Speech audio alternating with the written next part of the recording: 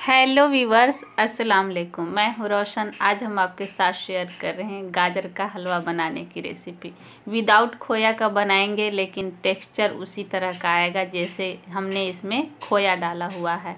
और बिल्कुल दानेदार देख सकते हैं। बहुत ही टेस्टी बहुत ही अच्छा हलवा बनकर तैयार होता है। तो मैं बिल्कुल ऐसे इस तरह से मैं दिखा रही हूँ, देख पा रहे होंगे। लग रहा है ना कि इसमें खोया डाला हुआ है। तो ये मैंने विदाउट खोया का बनाया हुआ है, बहुत ही टेस्टी तो चलिए बनाना शुरू करते हैं मेरे तरीके से।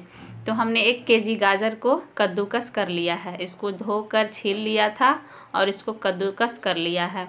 और हम एक कढ़ाई चढ़ाते हैं और इसमें हम फुल क्रीम दूध ले रहे हैं। देख रहे हैं कितनी अच्छी मलाई है इसमें। तो इस तरह से हमने पहले ही इसको अच्छी तरह से दूध को गर्म कर लिया था। ये सात सौ है। तो एक के जी गाजर के लिए 750 एल दूध बहुत परफेक्ट होता है। इसी की वजह से विदाउट खोया का ये टेस्ट खोए जैसा आता है। तो हमने इसमें पूरा ये मलाई भी डाल दिया है और इसको बीच बीच में चलाएँगे और इसको उबाल आने देते हैं। तो देख पा रहे होंगे ये गर्म हो गया है और उबाल आने लगा है। तो इसमें हम डाल देते हैं गाजर को। तो ग्रेट किया हुआ गाजर का हलवा बहुत ही अच्छा बनता है। तो इस तरह से आप देख रहे हैं, मैंने गाजर मीडियम साइज़ का लिया था, ज़्यादा मोटा भी नहीं लिया था और ज़्यादा पतला भी नहीं लिया था। तो इस तरह से जैसे मोटा रहता है तो बीच वाला जो है, हार्ड वाला रहता है तो उससे थोड़ा सा कलर भी अच्छा नहीं आता है और इस तरह से रेड दिख रहा होगा, ये बहुत ही अच्छा बनकर तैयार होता है। तो सभी को मिक्स कर लेते हैं। और मीडियम टू हाई फ्लेम पर इसको पकाएँगे। अभी थोड़ा सा ज़्यादा उबाल आने के लिए हम हाई फ्लेम कर दे रहे हैं। चार हमने क्रश करके इलायची को डाल दिया है, छोटी इलायची। इससे फ्लेवर बहुत ही अच्छा आता है। अगर इलायची का पाउडर आप यूज़ कर रहे हैं तो उसमें आप पाउडर लास्ट में यूज़ कर सकते हैं। लेकिन हम पकने के लिए हमने अभी इसमें ऐसे ही डाल दिया, इससे भी टेस्ट बहुत ही अच्छा आता है। तो हम ढककर बीच बीच में चलाते हुए पका रहे हैं। देख पा रहे होंगे, फ्लेम मेरा अभी हाई है और अभी काफ़ी ये दूध है तो इसको हमको थिक करना है, पकाना है इसी के साथ। तो ये पक कर बहुत ही अच्छा हमारा दानेदार हलवा तैयार होगा। तो इस नए साल में मेरे तरीके से गाजर का हलवा ज़रूर ट्राई करें। बहुत ही टेस्टी और बहुत ही इजी तरीका है और बिल्कुल हलवाई की तरह, शादियों वाला जिस तरह से आप हलवा खाते हैं ना, बस उसी तरह से लगेगा। टेस्ट बहुत ही अच्छा बनकर तैयार होगा। तो काफ़ी ये मिल्क सूख गया है, देख पा रहे होंगे, ठीक हो गया है। तो इस तरह से थोड़ा सा फ्लेम हमने कम कर दिया है। मीडियम फ्लेम है, क्योंकि दूध कम हो गया है तो इसके साथ भी थोड़ा सा फ्लेम हम कम करके पकाएँगे इसको। और ये पाँच मिनट के बाद और ये सूख जाएगा। तो इस तरह से मिक्स करते हुए हम पका रहे हैं। और ये गल रहा है, गल चुका है अच्छी तरह से क्योंकि ग्रेट किया हुआ गाजर बहुत जल्दी गल जाता है। तो अभी से ही लग रहा है कि इसमें हमने खोया डाला हुआ है, देख पा रहे होंगे। और काफ़ी ये सूख गया है। इसके अंदर पानी सा बहुत कम दिख रहा है। तो इसमें हम अब चीनी को डाल देते हैं मीठे के लिए। आप चीनी की जगह गुड़ डाल सकते हैं।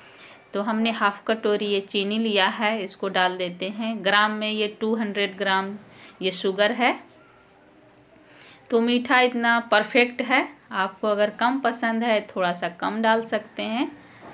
तो इस तरह से मिलाकर हम इसको पकाएँगे, क्योंकि चीनी घुलने के बाद और ये पानी सा हो जाता है तो मीडियम फ्लेम पे ही हम अभी पका रहे हैं। तो देख पा रहे होंगे, चीनी घुल चुका है। और इसको हम सूखने तक पका रहे हैं। तो ये काफ़ी अच्छा पानी की तरह दिख रहा है और कलर देख रहे हैं, कितना अच्छा कलर लग रहा है गाजर के हलवे का। और पानी बिल्कुल सूख गया है हल्का हल्का सा है। तो इसमें हम घी ऐड करेंगे, क्योंकि पहले हमने घी बिल्कुल ही यूज़ नहीं किया है। तो घी डालने के बाद बहुत ही अच्छा शादियों वाला और हलवाई वाला टेस्ट बहुत ही अच्छा आता है। जिस तरह से आप शादी में गाजर का हलवा खाते हैं तो इस तरह से पानी सूखने के बाद ही लास्ट में घी डालें। तो अब हम घी इसमें डाल देते हैं। लास्ट में डालने से अच्छा इसमें टेस्ट आता है। तो ये देसी घी है। ये दो चम्मच हम इससे डाल रहे हैं। तो देख पा रहे होंगे, हमने इसमें दो चम्मच घी डाला हुआ है और मिक्स कर लेते हैं। अब इसमें हम कुछ ड्राई फ्रूट्स डालेंगे। आपको जो पसंद हो, वो इसमें आप मिला सकते हैं, डाल सकते हैं। लेकिन सभी को पाँच मिनट के लिए इस तरह से चलाते हुए हम घी को पहले मिक्स कर लेते हैं, उसके बाद हम इसमें ड्राई फ्रूट्स डालेंगे। देख पा रहे होंगे, पानी बिल्कुल ही नहीं है इसमें और बिल्कुल दानेदार दिख रहा है। तो इसमें हमने लिया है बादाम थोड़ा सा काजू कटा हुआ थोड़ा सा नारियल कटा हुआ और किशमिश हमने लिया है। अपनी पसंद का कोई सा भी ड्राई फ्रूट्स डाल सकते हैं। आप चाहें तो इसको घी में फ्राई करके डाल सकते हैं। हमने ऐसे ही डाला हुआ है। ऐसे बहुत ही अच्छा लगता है। तो सभी को मिक्स कर लेते हैं और पाँच मिनट तक इसको चलाते हुए पका रहे हैं।